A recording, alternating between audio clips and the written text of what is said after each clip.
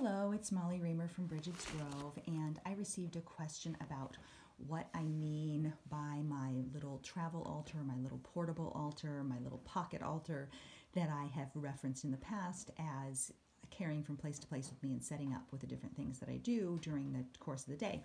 And I decided to make a little video walkthrough, so to speak, of the contents of my little portable altar bag.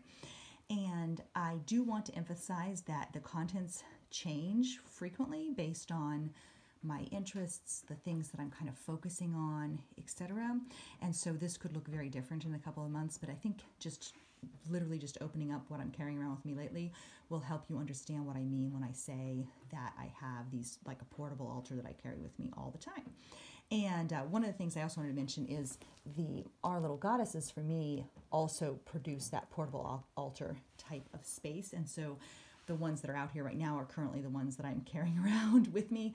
And I always have one with me. Like I always have a goddess with me. I tuck one, I have a, I keep one tucked down the front of my shirt, usually a meditation goddess, and because she fits, ta-da! And then I usually keep one in the back, my back pocket if I'm wearing jeans. That's who's been riding along with me lately.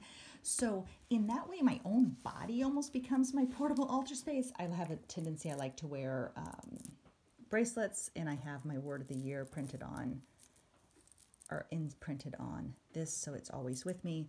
I have a ring that I wear with my word of the years. My I have two words of the year this year, so I have the words on it.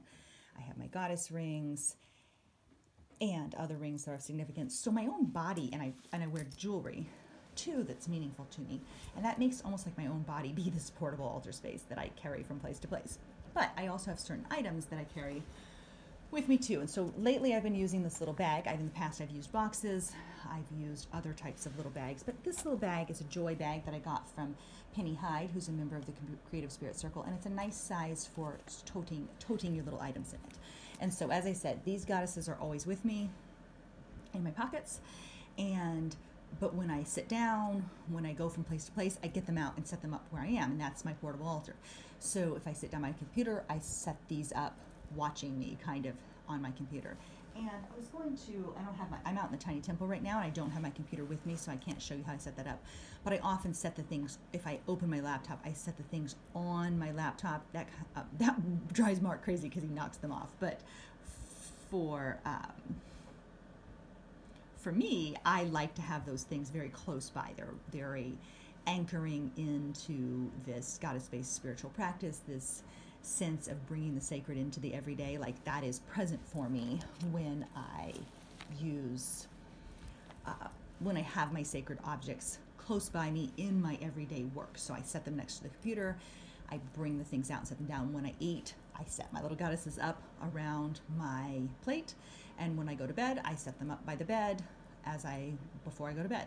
And I even will do that if I'm having a dinner with someone else, or even if I go to a restaurant or have a meeting somewhere, I will set my little goddesses on the table by where I am working, or if I'm holding an event or something, I set some things up next to me on the floor when I'm there. And I guess, I mean, maybe that's weird. I've never really thought that it was weird, and so I've noticed in the past that if you don't act like something's weird, then other people don't really act like it's weird either. They treat it as something that you do. So in my little bag, and this is my current little portable altar space, I have one of my homemade little prayer books or magic books or books of wisdom.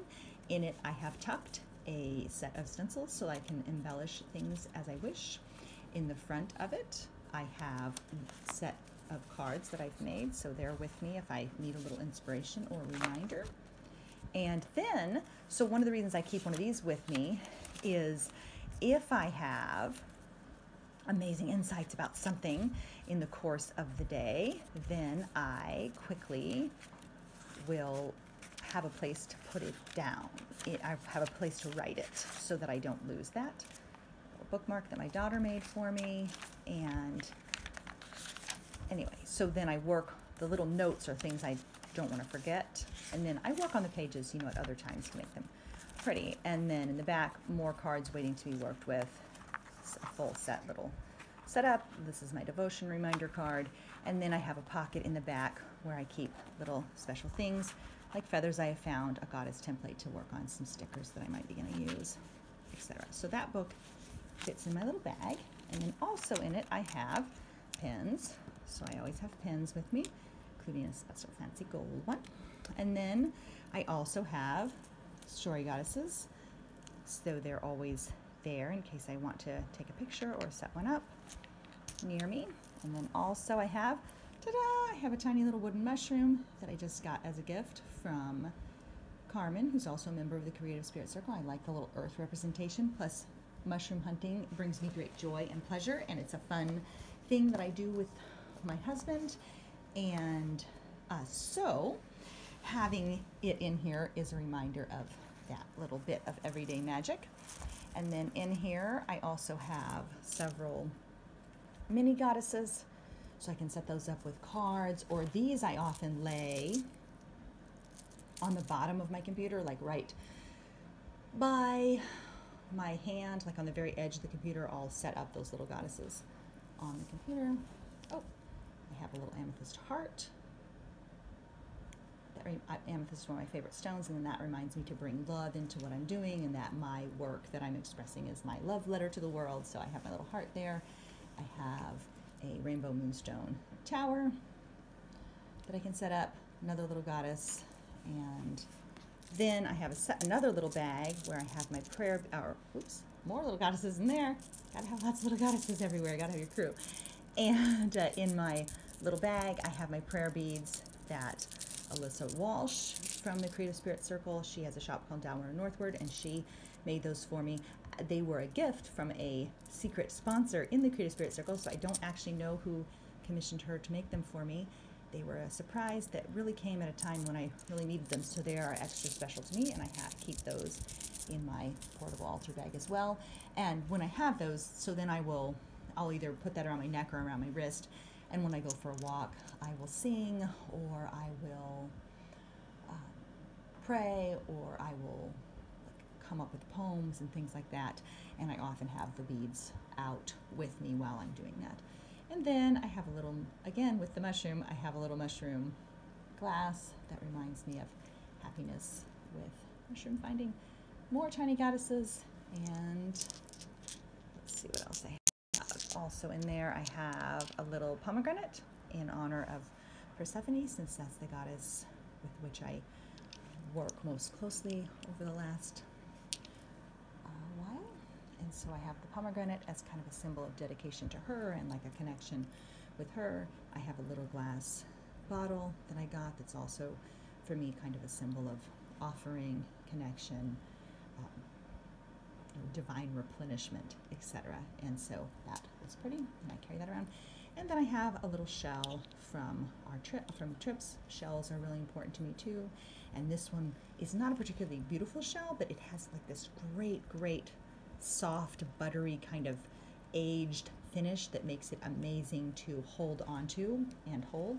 And so I like having kind of the representations of different elements with me too. So I have my goddess representation, I have my prayer representation, but I have my earth element, I have my water element, I have my, or well, my this is my water element, sorry, uh, my air element because the little bottle can hold um, anything.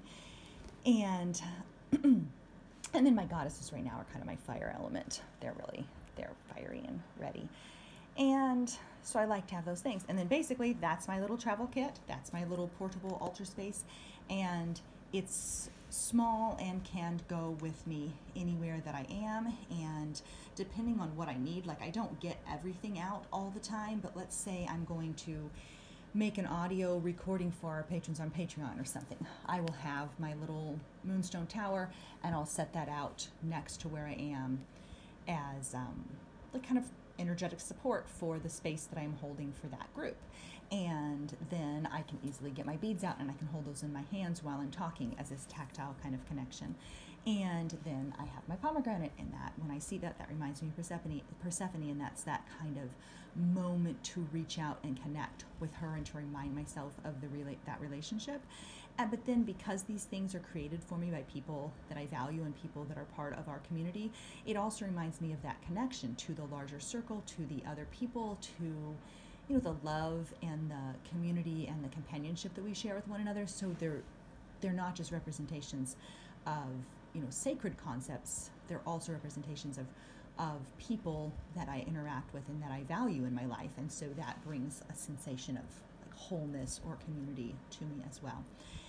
And then, as I already explained, the goddesses for me they represent very much a little an actual tactile connection with divinity and really become kind of a conduit of the holy. So when I have the, the goddess in my hand, it's a tactile way of reaching out and touching divine presence, touching the sacred, uh, forming this conduit of the holy, even though what I'm doing is possibly typing or possibly eating dinner or getting ready for bed or writing in my journal or getting orders ready or whatever it is, having these things close by and in my hands and readily available to me is what infuses each day with that sense of the sacred and with divine connection and with relationship and with goddess centered living becomes like woven through or part of every day instead of something I'm saving for a special occasion or something I'm saving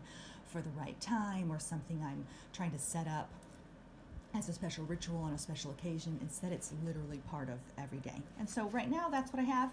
In another week or so, I might have different things, but something that's always in common is that I always have the goddesses with me, and uh, and they're always in my pocket, or on the table, or next to me wherever I am, whatever I'm doing. I even put one in the shower with me when I take a shower, and uh, so that's uh, one of those ways that I weave weave the holy, weave the sacred, weave the magic into the everyday moments. So thanks for being here and for listening.